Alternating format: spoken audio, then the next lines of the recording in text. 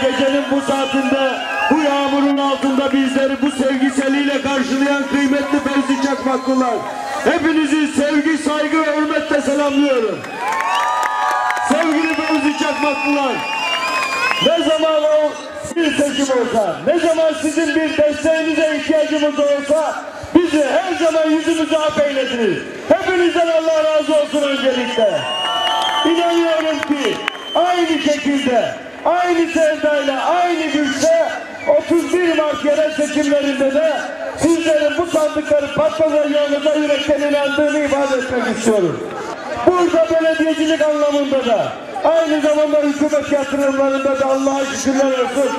Fevzi Çakmak her zaman bu hizmetlerden faydalanmayı aynı zamanda da hak etmiş bir mahallemiz olduğunu ifade etmek istiyorum. İki tane ilköğretim okulu, bir tane lise olmak üzere eğitim noktasında Allah'a şükürler olsun.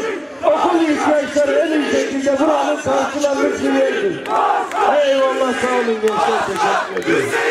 Sevgili dostlar, aynı zamanda doğalgazla Çakmak Caddemiz buluşmuş durumda.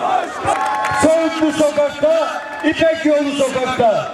Hem aynı zamanda doğalgazın tesisatının döşenmesiyle ve altyapının bitirilmesiyle 2019 yılında inşallah buradaki hemşerilerimiz hem doğalgazda hem de asfalt ve kaldırım üst yapı çalışmasıyla oranın da hizmette inşallah buluşacağını ifade etmek istiyorum.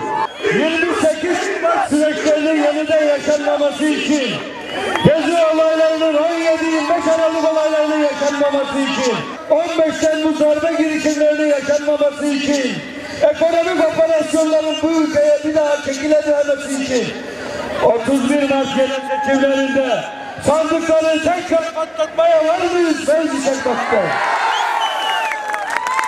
Hepiniz biliyorsunuz ki bu hizmet işi AK Parti'nin işi.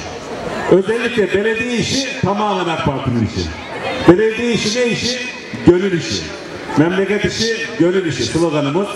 Sayın Cumhurbaşkanımızın ortaya koyduğu hizmet anlayışıyla AK Parti en güzel şekilde çalışmalarını sürdürdü. Bugün alnımızın akıyla karşınızdayız.